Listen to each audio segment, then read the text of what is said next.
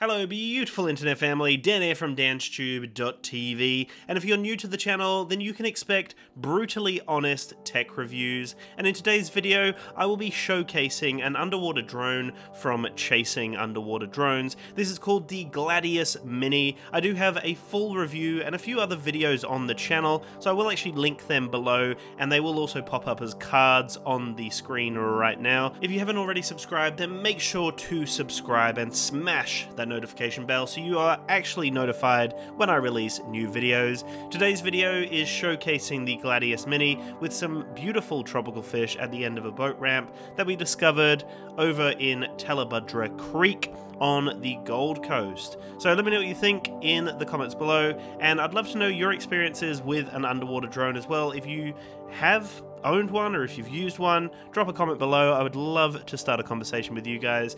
And I also do have a clothing line, a drone inspired clothing line called Eye in the Sky Clothing. So that will also be linked below as well. So check that out and enjoy the video.